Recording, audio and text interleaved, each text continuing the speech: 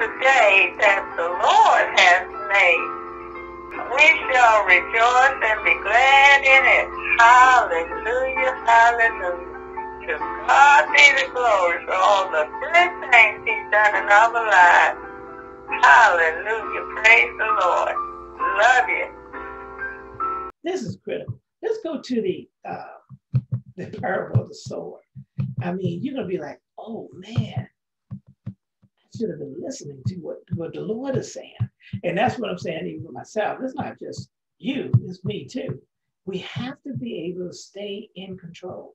We have to realize that this is the way we can be successful. Now, in this one in Mark chapter 4, Jesus gave a parable. And then after he gave the parable, his disciples came and asked for understanding. And that's what we're doing this segment here. It says in verse 10, Mark 4, starting verse 10. When he was alone, they were about him with the 12, asked of him the parable.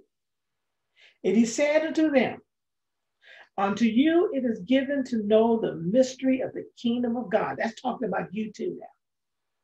But unto them that are out, all these things are done in parables.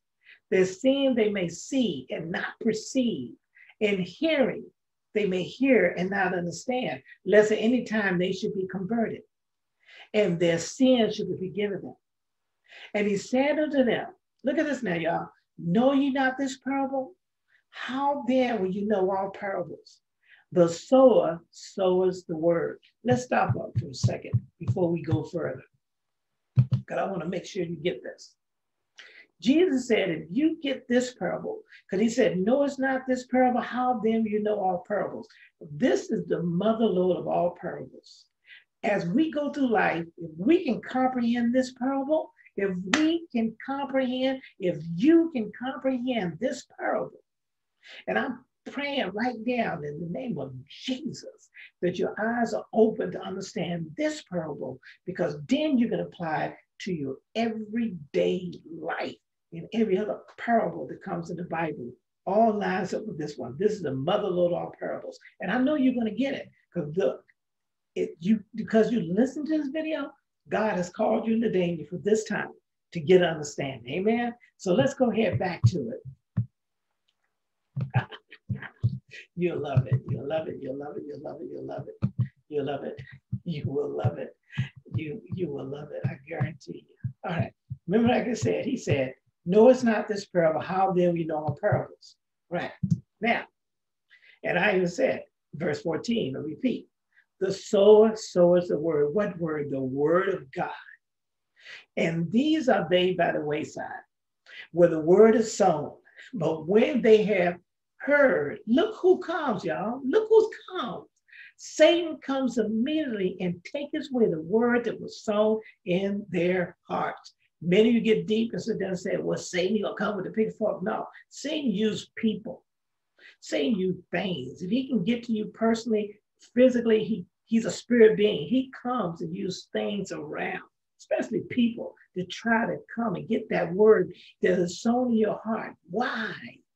Why is it so important? Because if that word can be rooted in your heart, you will be fruitful in the things of God and bear these fruits. Have you checked your fruit today? Look at this.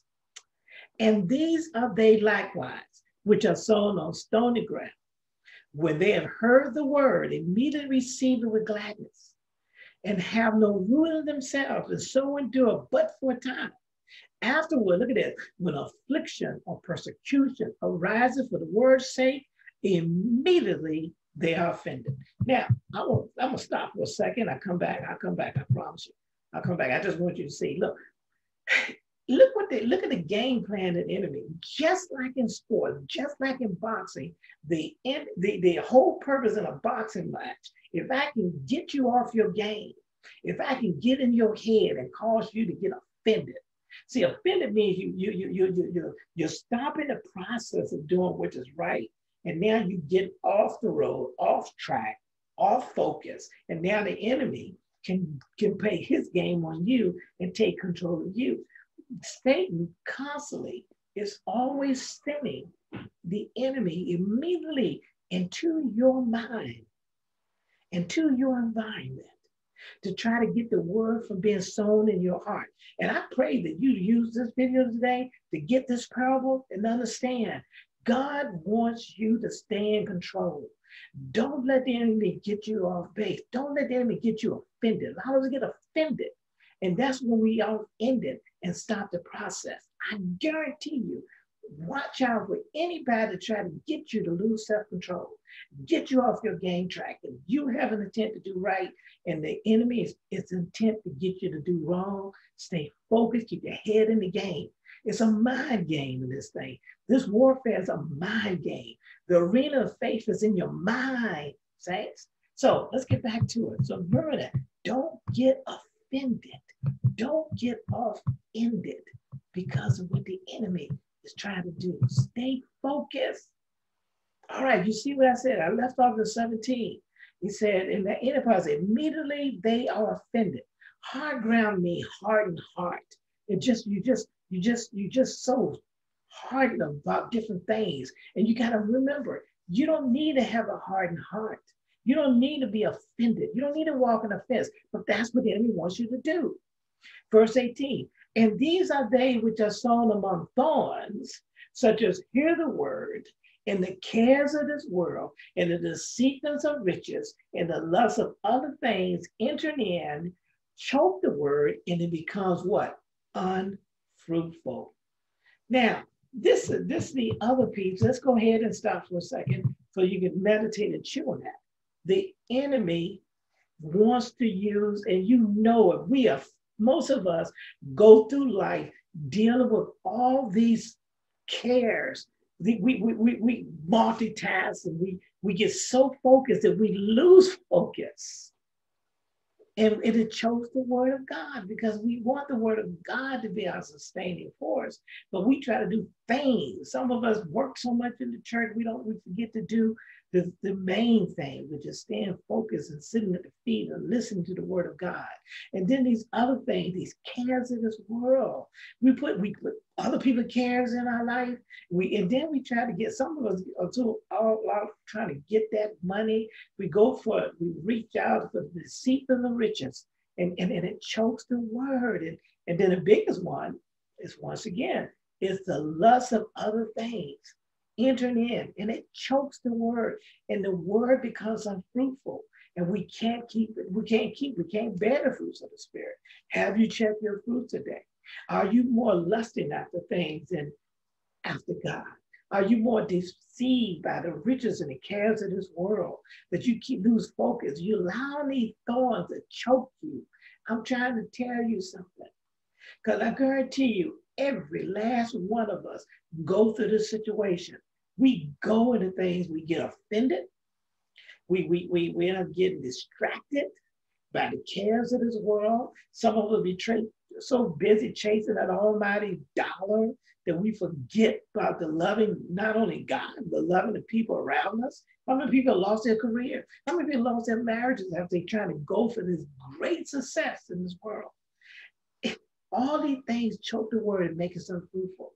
So that's the that's the game plan of the enemy. That's what he wants you to do. If he can get you off base, he can get you to the point where you get offended. Number one, that's the first trick he tries to do. He tries to to to use persecution, affliction to, to, to get you offended. He's trying to offend you any way he can. And, and then, you know, most will get upset because the fact is that when we try to do good and then people go off on us, it just trips you out. You're like, damn, when I was doing bad, I, I didn't get this much reaction. Why? Because the enemy don't care about you doing bad. The enemy is care more about you trying to do good. So he tried to get into your situation, get into your head to get you offended. And like I said again, the other things, these cares of this world, choke the word, choke the word. You care about so many things that you lose focus and you become depressed because you so you care about these things. You become deceitful and riches when you're trying to go out there you, you, you do different things to try to get that almighty dollar that you don't even take time to focus on the things that's important around you, to include your children, your wife, your girlfriend. Some things we, we, we can try to pursue one thing can just cause us to fall around, everything else to fall around us. And we see it in life every day. And then the lust of other things. We lust for things that we, we, we think is so important. And all it does, it chokes the word out of our life. I'm talking about me too. It's not, this is not just for anybody. It's for everybody to watch out for the game plan enemy, getting offended, getting you all wrapped up around the chaos of this world, being deceived by trying to chase power and greed and wealth, and then the other one's lust. Most people say, I want the, I want the money. Well, it's just the fact is the cost that goes along with going after it. But verse 20 says, and these are they which are sown on good ground. Look at this, such as hear the word and receive it and bring forth fruit, some 30 fold, some 60, and some 100. Have you checked your fruit today? Are you bringing in 30, 40, or 60, or 100? Are you bringing in the fruits? Are you, are you bearing love? Are you bearing joy? Are you bearing peace? And these things come from God, but He's telling you this is why you want to stay in control.